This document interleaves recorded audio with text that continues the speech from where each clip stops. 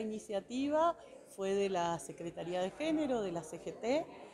y la idea que tenemos es que haya diferentes actividades relacionadas con la mujer y el lugar de poder que debe ocupar la mujer, que es lo que hemos hecho realidad en la CGT Regional Mendoza, que por primera vez dos mujeres somos secretarias adjuntas de la CGT. Es un hecho histórico importantísimo y bueno, por primera vez ocupamos esa secretaría, entonces habilitamos a las compañeras de las demás secretarías a que todos los proyectos que puedan hacer, que puedan planear, se lleven a cabo. La capacitación, la formación sobre violencias, y hoy estuvo muy interesante, violencias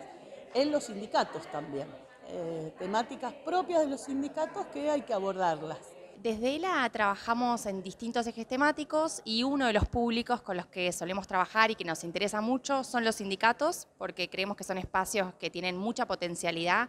para mejorar las condiciones laborales, para mejorar el bienestar de las familias eh, y para generar espacios de trabajo más inclusivos y menos violentos y también construir una sociedad más equitativa y más justa.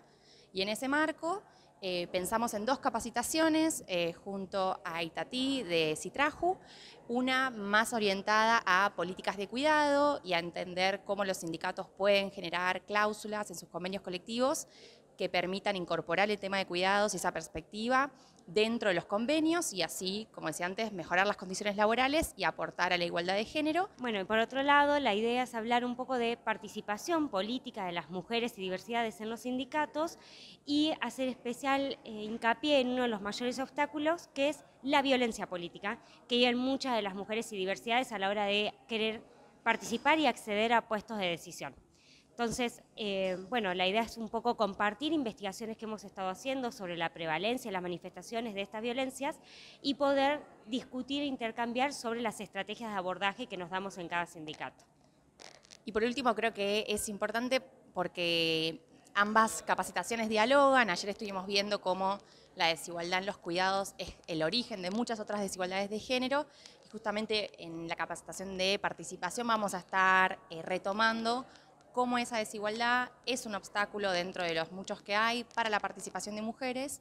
junto con la violencia política, así que nos parecía que eran dos capacitaciones que dialogaban bien y que ambas permiten eh, esto, construir una sociedad más equitativa y como decíamos antes, los sindicatos tienen un rol central en esa tarea. Pueden buscarnos en nuestras redes sociales, tenemos en Instagram, somos arroba equipoela, también estamos en Facebook, arroba ELA, Equipo Latinoamericano de Justicia y Género, en Twitter y en LinkedIn. Y si no, también en nuestra página web que es www.ela.org.ar.